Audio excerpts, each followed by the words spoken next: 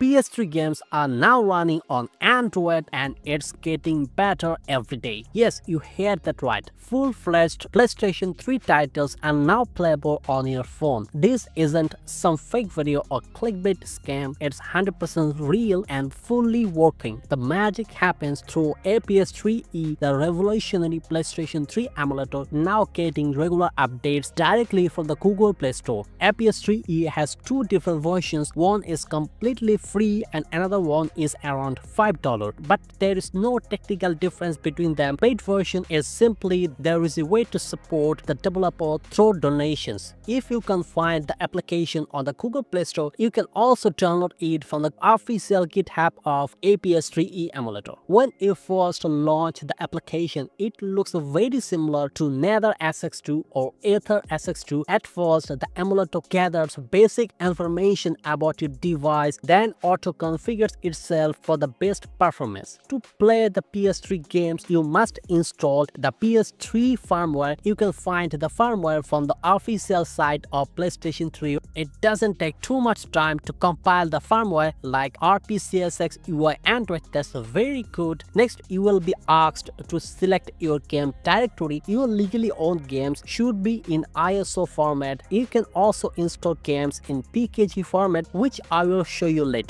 Next, emulator will prompt you to select a font file. I highly recommend choosing the firmware font to avoid potential issues or crashes. Enable use custom driver, then select the custom driver path from your phone storage. I'm using Adreno 819. Unfortunately, non-Snapdragon users won't be able to take advantage of this feature. Finally, click on the finish button. You can now see all your games in the game library. If you click on the three dots, you will get more options to fully customize the emulator. You will find a refresh button, an option to install firmware and the ability to install PKG file. Here you will also find the virtual keypad. You can easily move, resize, add or remove keys to your liking. However, I personally think the default key mapping is already perfect for most games head into the settings menu under core settings using recompiler LLVM is perfectly fine for the PPU decoder. For PPU threads, you should check your phone threads. I would recommend you to select 2 or 4. Now let's talk about the most anticipated update video settings. Here you can choose between OpenGL or Vulkan as your rendering API. For high-end games, consider lowering the resolution 720 into 480 for smoother gameplay gameplay, set aspect ratio 16